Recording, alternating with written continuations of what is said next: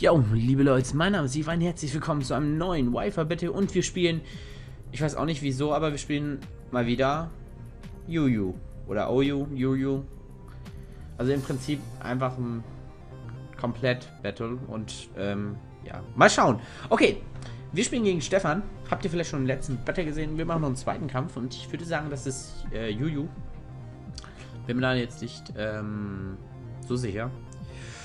Jetzt die Frage, was wäre der klügste und beste Lied, den wir machen können? Um ganz ehrlich zu sein, ich würde Porygon lieben. Oder mit Porygon. Oder? Nicht, ich liebe mit Aragog mit Voltula. Und äh, kann halt dann immer noch für einen Voltwechsel gehen. Oder ein Käfergummon, wenn nach Tara drin sein sollte. Ähm, Giga Dwayne, ich weiß, es, man kann auch den Energieball spielen. Ich bin aber irgendwie gegen der, wegen der Recover so ein bisschen. Obwohl es ist Schwachsinn, Voltula so zu spielen wegen der Recover, weil es eh nichts überlebt. Also.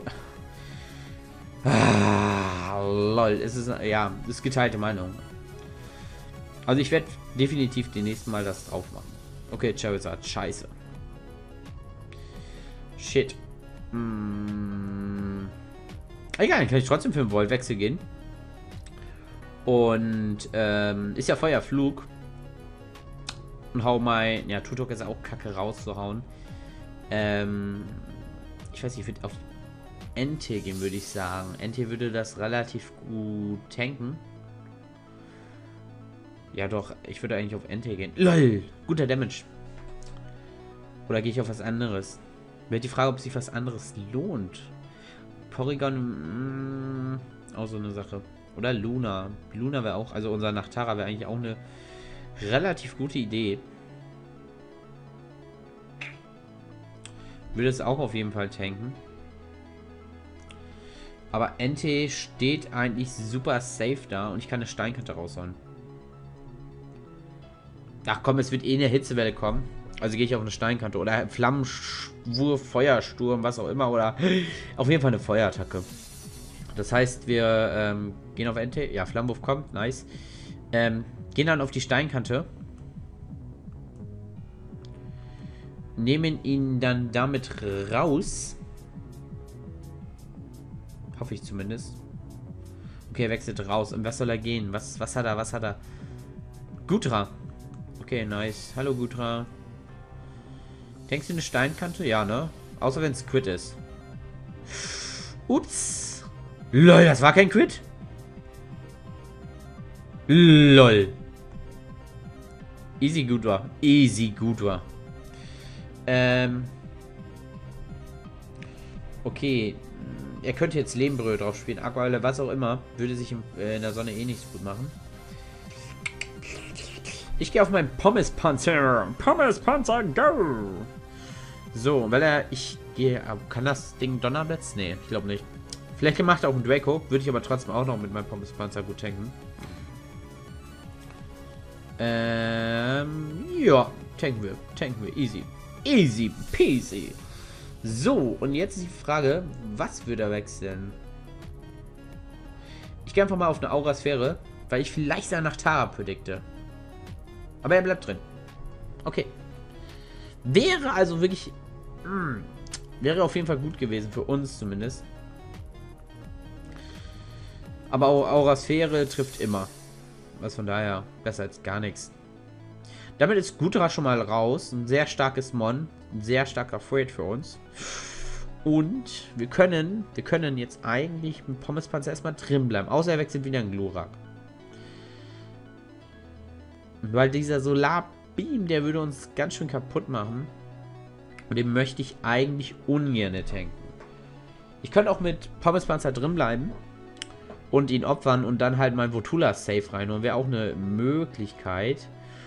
Okay, er hat Rosarade reingerufen. Was mache ich gegen Rosarade? Es wird mit sehr hoher Wahrscheinlichkeit eine Giftattacke kommen. Äh, ein Gigadrain kommen.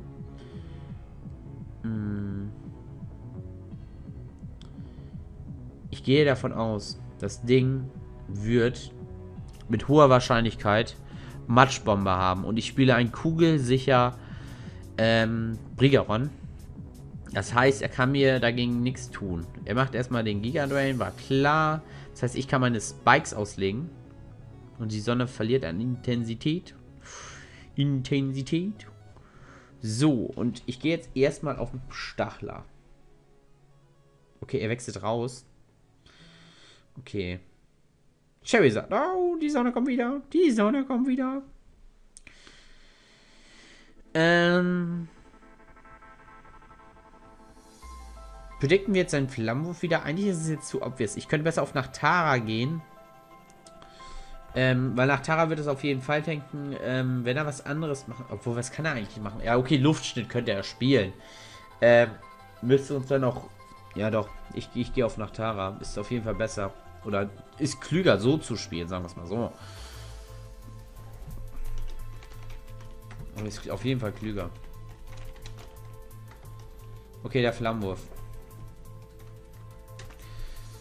Lol, macht er viel Damage. Hätten wir auf jeden Fall besser wieder mit NT getankt. Aber ja, klar tanken wir den mit Nachtara.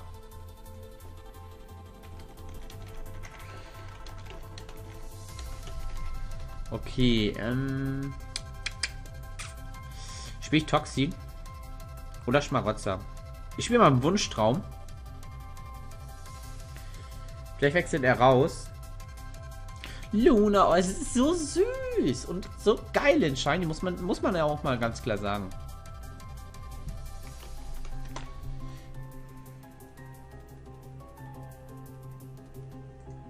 Es ist so schön in Shiny. Also ich glaube, ich bin da nicht der Einzige. LOL, es kann Dunkelklaue. LOL.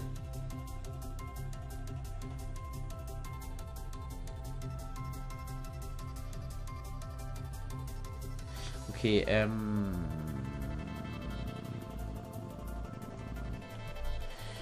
Ähm... Ich gehe mal auf den Schmarotzer. Wenn er Dunkelklaue drauf hat, gehe ich wirklich für den Schmarotzer. Wenn ich jetzt nicht den Burn bekommen sollte... Ja, okay, habe ich auch nicht. Ist schon gelaufen. Boom! Damit ist Glurak raus.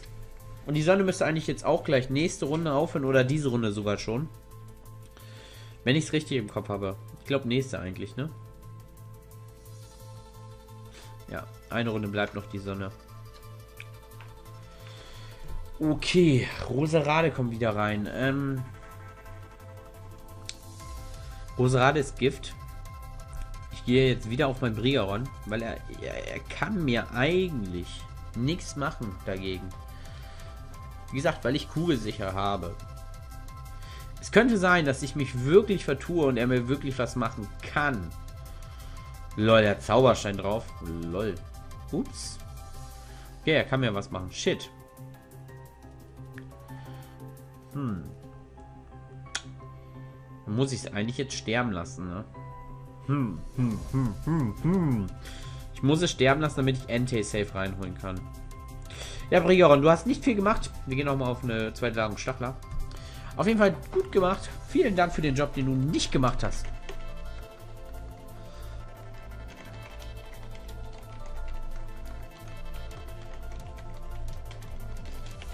Okay, Giftschleim. Er ist jetzt wieder voll.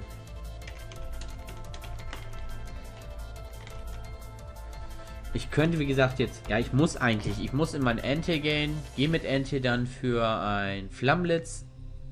Und mit diesem Flammblitz muss ich es einfach ausnocken.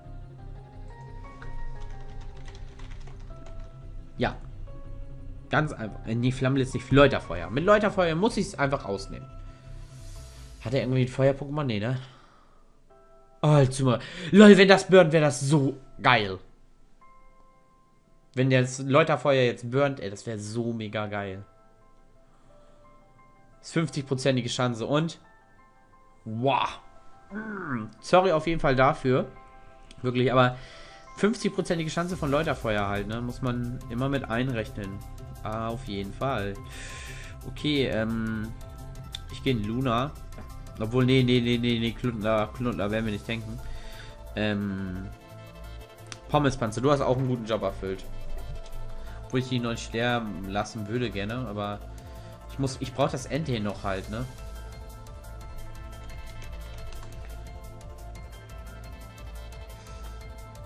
Easy, die tanken wir, Alter. Die tanken wir. Easy. So, und er müsste in der nächsten Runde dann dadurch sterben. Das heißt, rein theoretisch kann ich für eine Aquavalve auch Spaß gehen. Einfach aus Spaß. Ich hätte auch, okay, ich würde äh, Aura-Sphäre gehen können, aber Aquavalve Step plus Fähigkeit, Bonus, auf jeden Fall bessere Wahl und ah, Puls hat eh kein Damage gemacht. Also von daher ähm, war das meine klügste Wahl, die ich hatte. Auf jeden Fall. So, und Roserado macht mir so ein paar kleine Probleme. Ich werde aber für einen Drachenpuls gehen. Und jetzt läuft gerade Digimon im Hintergrund. Das ist richtig gut wieder. Fabis. Und ja, Gigasauger war klar. Tanken wir auch nicht. Nee. Schade, Pommespanzer. Schade. Schade. Auf jeden Fall guter Job. Guter Job. Guten Job hast du gemacht. Kann ich eh für auf ein Läuterfeuer wieder gehen.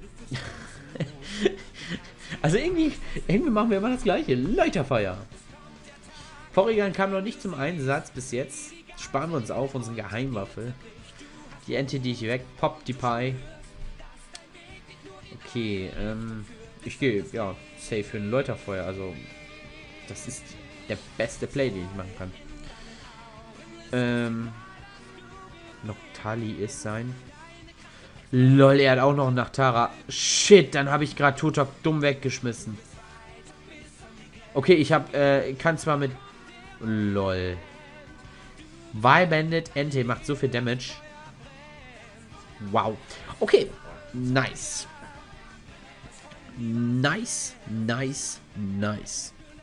Ne, ist doch nicht komplett für. Wenn das komplett für. Oder ist das speziell? Egal, ich bleibe einfach drin. Ich habe eh nur noch drei Leute vorher. Oder beziehungsweise jetzt nur noch zwei. Ähm, das heißt, ich darf es jetzt nicht mehr so verkacken. Er hat noch zwei Monster. Das heißt, es muss jeweils zum One-Hit ausreichen. Und er hat Kyselia. Okay, ich habe Luna. Schmeiße ich Luna. Ja, ich pack, ich pack Luna safe rein. Ich gehe jetzt erstmal in Dings. Und schmeiß dann äh, Toxin auf ähm, Kyseya. Wenn es halt ein Coremind Kyseya sein sollte. Und es ist Donnerwelle. Nice. Ich würde ja sagen, das habe ich bedingt. Aber um ganz ehrlich zu sein, never, Leute. Ich gehe auf eine Ampelleuchte. Sehr effektiv reicht zum To-It und er dürfte uns nicht rausnehmen. Von den Werten her. Okay, reicht doch nicht zum To-Hit. Oder es war gerade Max, oder beziehungsweise es war Min-Damage vom Min-Damage und wir können ihn jetzt damit rausnehmen. Und? War es Min- oder Max-Damage? Eigentlich müsste es nicht ausreichen. LOL! Oder? Ja, doch, dann war das gerade Min-Damage. LOL, dann reicht das doch aus. Okay. Sieht eigentlich hier auch verdammt gut aus. Und ich kann jetzt mal Votula auch hier ähm, sehr safe sterben lassen. Gehe aber trotzdem nochmal für eine Ampelleuchte. Und würde dann in NT reingehen. Also ich kann halt ein 4-0 daraus rausholen. Wenn ich jetzt, wenn es ausreicht. Oder halt ein 3-0. Ist auf jeden Fall beides gut. Und auf jeden Fall wieder gut gespielt. Und bevor ihr denkt, ich lade immer nur die Kämpfe hoch, wo ich gewinne. Nein, ich lade ja auch Kämpfe hoch, wo ich verliere. Bloß, wenn ich an einem Abend Kämpfe mache, dann kann das sein, dass ich mal ganz oft gewinne. Mal kann es auch sein, dass ich echt verliere. Zum Beispiel die VGC-Battles, die ich jetzt letztens gebracht habe. Da hatte ich ja auch einige verloren. Und andere Tage habe ich dann, denkt ihr, wow, der hat jetzt zwei Wochen, drei Wochen jedes Match gewonnen. Das kann ja nicht sein, aber das ist so tagesabhängig bei mir. Mal habe ich einen guten Tag, mal bin ich einfach super kacke. Okay, damit ist Rosa gerade raus. Und wir gewinnen das Match 4 zu 0 safe. War auf jeden Fall super, super tolle Kämpfe. Ähm, und ich würde sagen, wenn euch das Video gefallen hat, lasst mir einen Daumen da. Würde ich mich noch sehr über freuen. Eben noch einmal GG schreiben.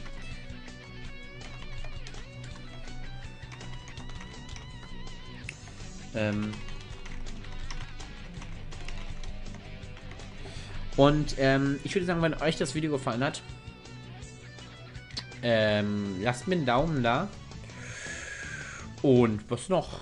Ja, ein Kommentar wäre auch cool.